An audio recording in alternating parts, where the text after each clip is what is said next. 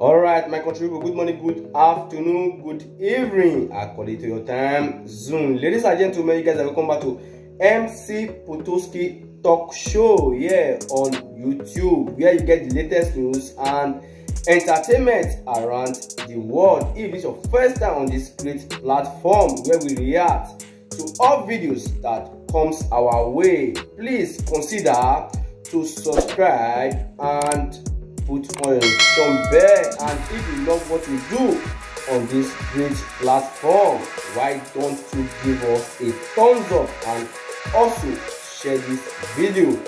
I appreciate all my subscribers. May god almighty richly bless you guys. And if you have anything to say about this video you can also drop your comment at the comment section and we will get back to you as soon as possible ladies and gentlemen without wasting much time guys let's dive into this video president-elect or president-select.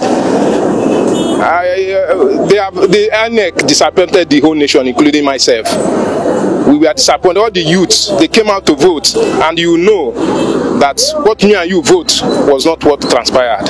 So when you say president-elect, I cannot even say anything about it. Even the the the, the, the swearing in is still a forgery. I wonder a, a, a, an, an institution you want to build on a cracked and corrupt practices. What do you what will you expect from it? So my brother, I don't want to go further. This nation is making everybody is angry about the nation. Few cabals are just manipulating the whole country and we keep on moping and looking at them. No, everybody, me personally, I'm angry. So take it like that. Nigerians are fond of saying all this rubbish. Somebody will be this yesterday, nobody cares about him. But when the victory gets at hand, they start, they start condemning, saying a lot of rubbish. So if Bola Tinubu has all this, why must he be a governor sometimes? Why must he be controlling the, the, the I mean, a, a lot of, uh, I mean, even the, even the government of this country is part of it from the beginning. Why can't they say anything about it that time? So to me, it's a mere allegation and it will continue to be like that. So I, I wish him happy presidency. We cannot continue to deceive ourselves. And that is where we didn't get it right. Because anything that you are doing at the beginning, there are procedure and protocol. So if at the beginning, this man was being satisfied by INEC, go ahead, register with INEC, and by electoral law, he was confirmed. It was known that he now voted by majority of Nigerians. And now allegation now come after the election. Who are these people? And where are, where are they at the beginning that they could not raise this issue, this matter, not until now? He's not the only person. Such allegations has been there. Even our last, uh, the, the, the, the present president that we are having, who is about to handle to a new elect president, such allegations has been there. So, you know, it, has been a Nigeria factor.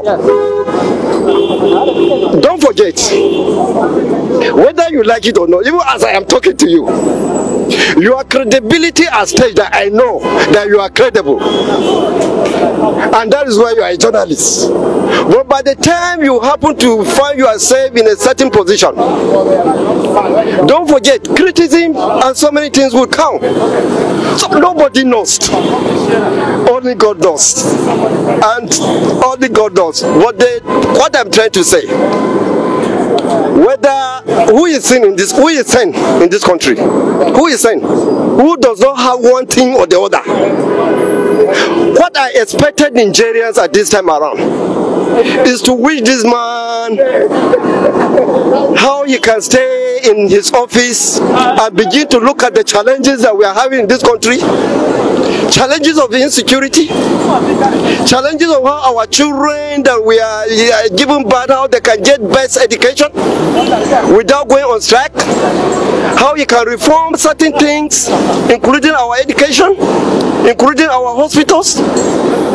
These are some of the things that I want Nigerians to begin to wish him good luck. Then unnecessary things that are not supposed to, you know.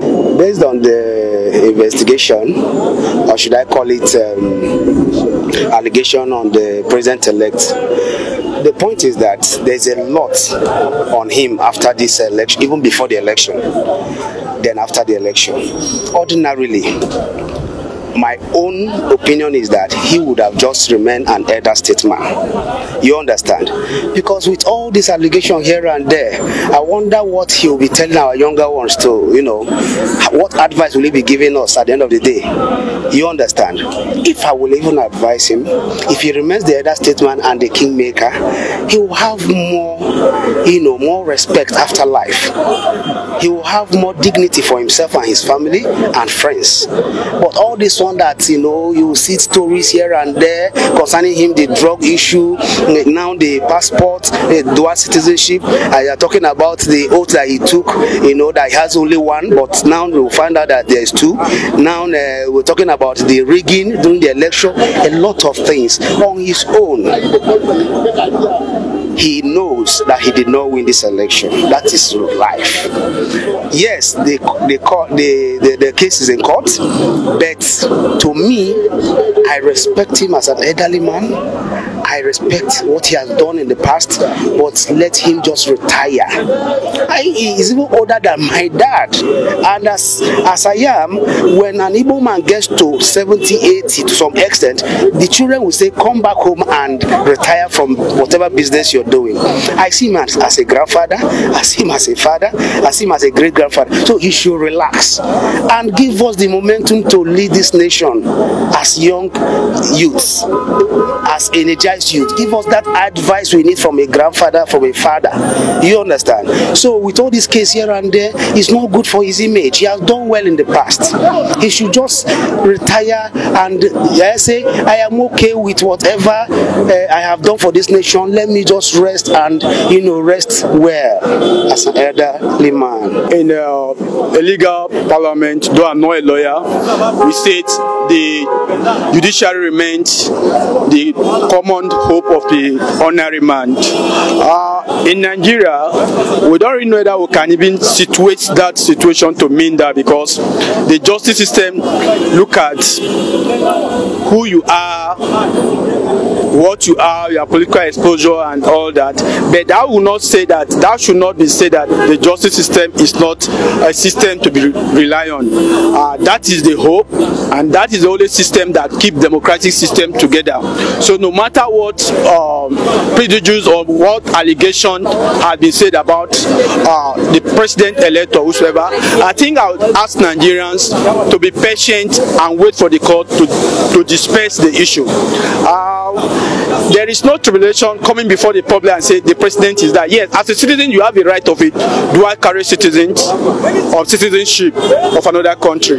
So if the president has a dual citizenship, it is his right, and notice the law. We have not had the position of the law about that until the judiciary now interprets what it means to that to the Federal Republic of Nigeria Constitution. Then we can draw a stand. Thank you for watching that video.